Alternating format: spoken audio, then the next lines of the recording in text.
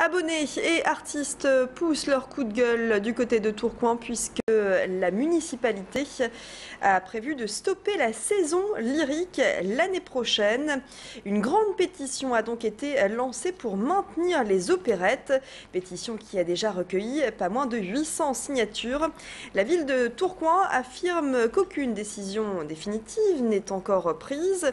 Le programme culturel sera dévoilé en septembre prochain au cœur de cette décision, a priori un manque de subventions. On va écouter tout de suite une artiste lyrique à l'origine de la pétition.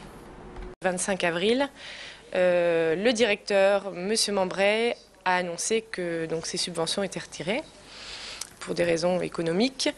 Euh, voilà, donc euh, vraiment une grande déception et surtout une incompréhension puisqu'on était, on avait une moyenne en, environ de 1100 spectateurs pour ces spectacles d'opérette.